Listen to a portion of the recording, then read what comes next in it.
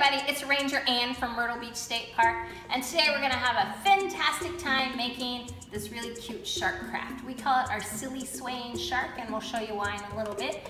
But our purpose of this video today is threefold. To make this craft, to learn about the amazing adaptations that sharks have, and at the end of this short video, we're also gonna show you some footage that we have filmed from the pier at Myrtle Beach State Park of some really cool sharks.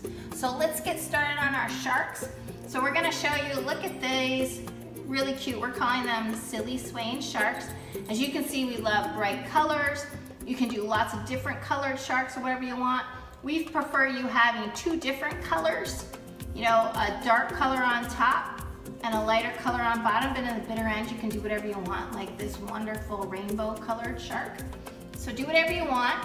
Uh, a couple things we recommend though is use cardstock or construction paper so that it will stand up and sway. If you use just normal copy paper, it'll still be a cute shark, but you will not be able to sway. And so now we'll go to our pattern. And our pattern here that is again a Myrtle, Beach State Park original, you can either again, it, copy it on cardstock or construction paper. This should be a darker color. This is the dorsal or the top part of the shark. This should be a lighter or a white color. And then also if you can't, if you don't have the ability to print, you can always take a piece of white paper and maybe put it up on your computer screen and trace it for your pattern. The other things you're gonna need for this craft are a marker, pencil, scissors, and glue. And so what we're gonna do when we start this craft, we have already cut everything out. So if you have not cut out all your, all your shark parts, please do so now, and I would stop this video. So again, we're just gonna start from where the shark is already cut out. And so what we're gonna first do is we're gonna fold everything along the dotted line. So we're going to fold this bottom part of the shark. Here's your fold. And then this shark on the top part, this is where our fold is, but we don't wanna see this fold on our silly swaying shark. So we're gonna fold it inward like that so that we don't see the fold. Okay, and so now we're gonna cover up these little dotted lines. And you don't even have to glue this if you don't want. I'm not gonna glue it. And already there, we're starting to have a little bit of a shark. And then we're also gonna fold our fins so we can get going. Okay, so we're just gonna use a little bit of glue and we're gonna put on our first dorsal fin of our shark. And we're gonna put this dorsal fin, I think I used too much glue there, uh, just below the pectoral fin that we'll talk about in a little bit. So this is the first dorsal fin, and then we'll glue on our second dorsal fin. Now here's a great fun fact about sharks. Anybody wanna guess how many sharks are out there in the world? How many different kinds of sharks are swimming around in our oceans? I can't hear you. There's about 500 different kinds of sharks out there. So not all sharks are built alike. They all don't look alike. They all don't have the same dorsal fins. Some sharks are as small as the palm of my hand. Some can grow as large as 50 feet like the whale shark. Some are fast moving sharks. Some are slow moving sharks. Some sit on the bottom. Some are in the open, open pelagic ocean where all they do is just swim, swim, swim. So all sharks are not made alike. So keep that in mind. We're just doing a general silly shark today. So the dorsal fins, they help to keep the shark balanced and not roll over. They are not, like during the movie Jaws, used to scare people. That's not the purpose of them. And honestly, when we're on the pier at Myrtle Beach State Park, we see sharks quite often, but it's rare that we actually see the dorsal fins. So now we're gonna glue on the caudal fin or the tail fin, and we're gonna glue it onto the dorsal part here. So just put it in like that, put it down. And again, the dorsal or the caudal fin is really important, is for propulsion. Gives that shark the ability to move. And again, all caudal fins are not made alike. Some sharks are slow, some sharks are fast, and all caudal fins look very, very different. Uh, then we have pectoral fin.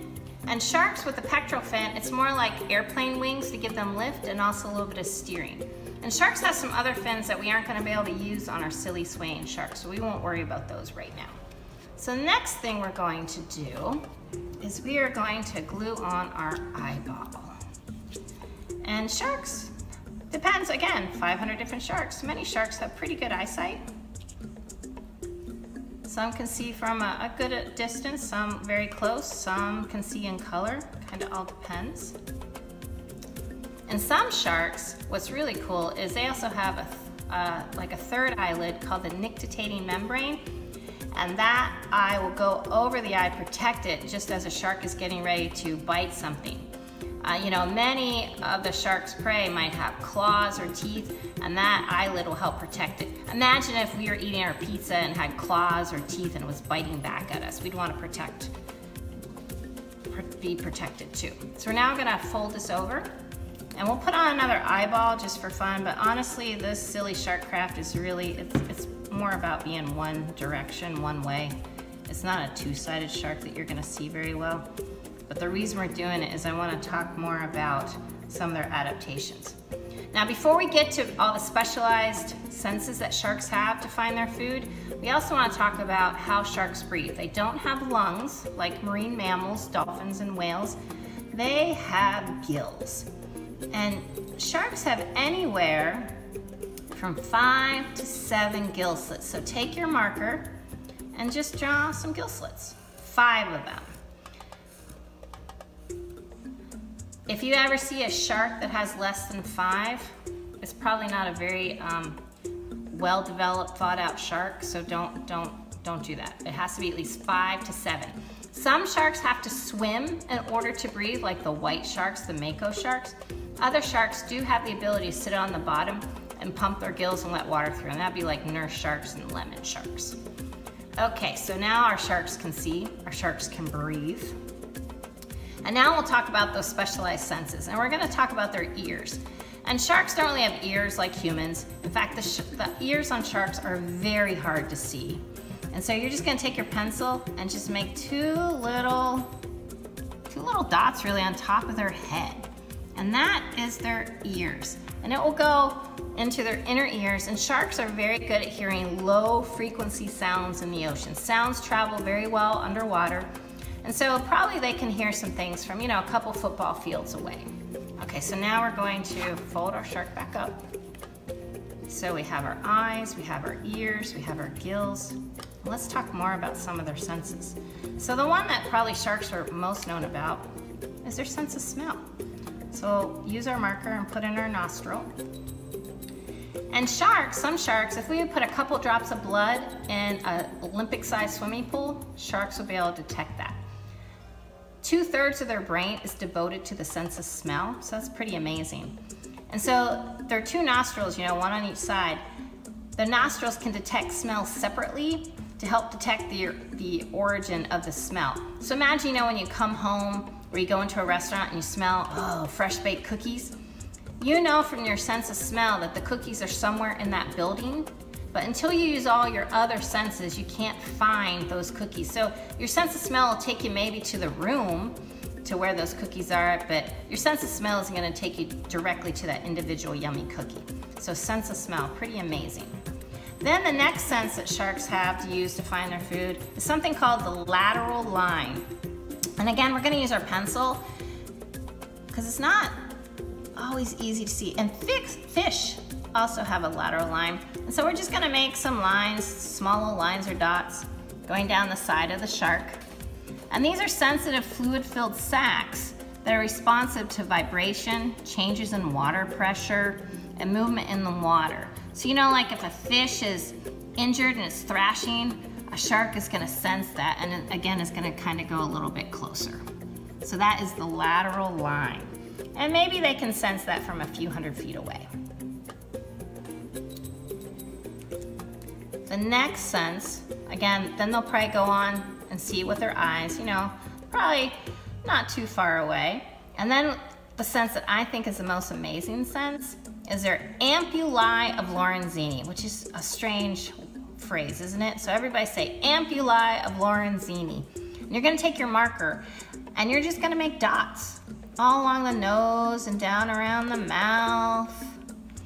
And these are gel-like pores that detect electrical pulses in the ocean, and all living things give off electrical pulses. Now, the Ampullae of lorenzini is not gonna help sharks detect food from hundreds of yards away or anything like that. It's just gonna be probably a few feet or a few meters. But if you're at an aquarium and in a shark tunnel and a shark is above you, you'll be able to see, it looks like just little black pepper specks. So it's pretty easy to see the Ampullae of lorenzini. If you're out fishing and you catch a shark, you'll see the Ampullae of lorenzini. It's really an amazing, amazing sense. So now the sharks, they can hear it, they can smell it, they can sense the vibrations with their lateral line, they can detect electrical impulses with their Ampullae of lorenzini, and then of course what sharks are well known for is their teeth. So again, you're gonna take your marker, and teeth for sharks are like built-in silverware. Depending on the shark and what they eat, they're gonna use different utensils to get to their food. Some sharks eat fish, some sharks eat sea turtles, some sharks eat seals and whales, some eat whelks and conchs and, and other snails. And so I'm just doing general triangular teeth, but I expect all of you to be drawing very different looking shark teeth, and that is okay, because all of our silly swaying sharks are supposed to look different. And then what I'm gonna do, because I want my shark to look really cute, I want my teeth to pop out, so I'm just gonna color in the mouth black just again to make my shark pop and look cuter.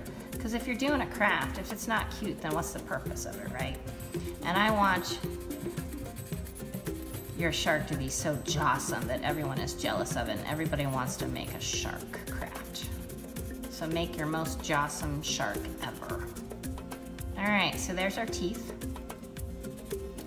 And then we just have one last thing to do. This didn't take long at all, did it? You're gonna take your pectoral fin. Remember your pectoral fin helps give the shark lift and a little bit of steering and we're gonna fold it up.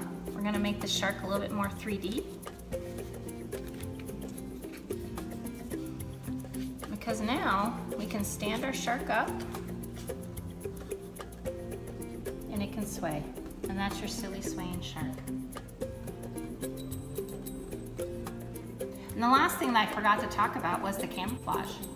And so we were talking about we wanted sharks to be light, dark on top, light on the bottom. And you can see ours is kind of darker on top and it also kind of mimics little um, sunlight going through the surface of the water.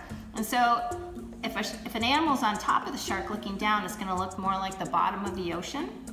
And then if a shark or another animal is underneath the shark, you're gonna see that it's lighter, so it could resemble the top of the ocean, the sky, whatever. And this is called counter shading.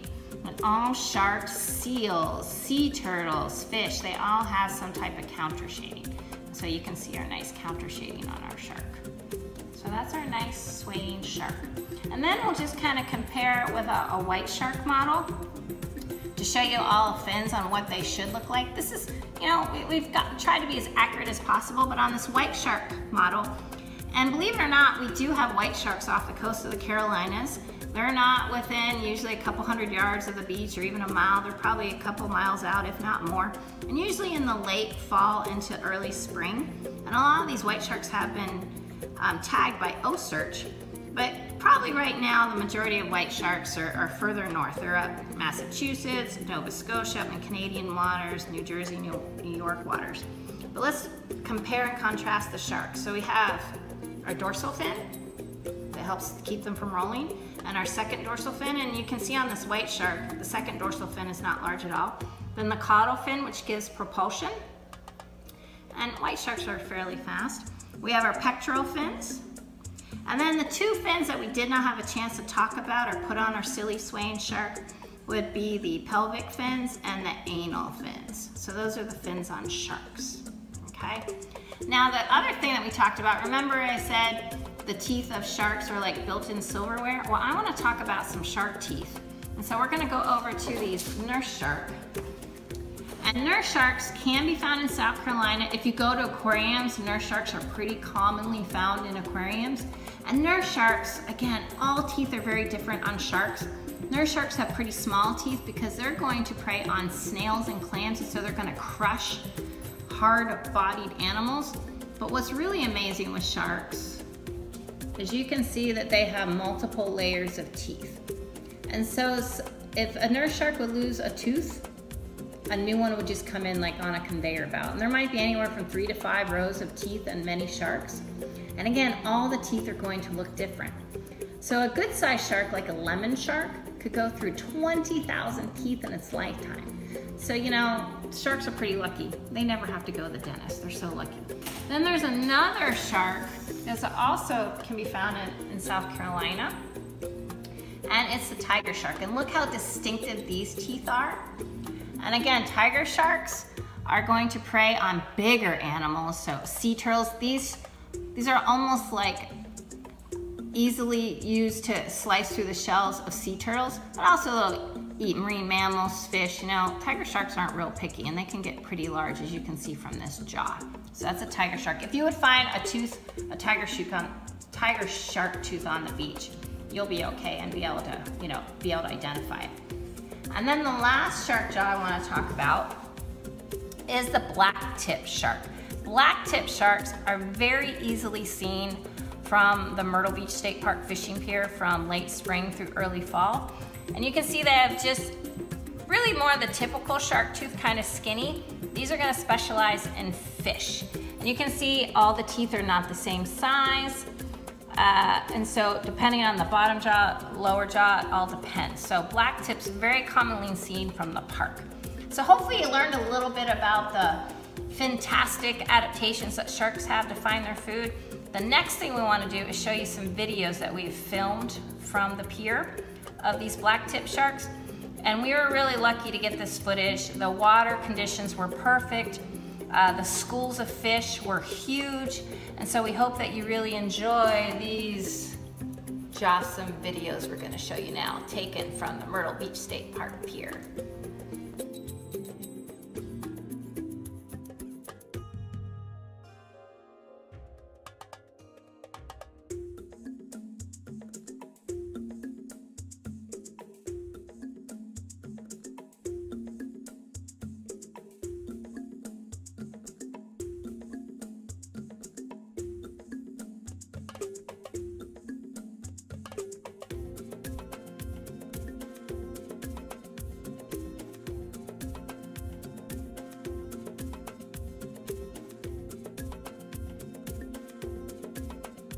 Well, we hope you enjoyed those videos and we hope you get the opportunity to go out to a beach and get to a local fishing pier all along the coast of South Carolina. if you're really lucky, maybe you'll see some fantastic sharks out there.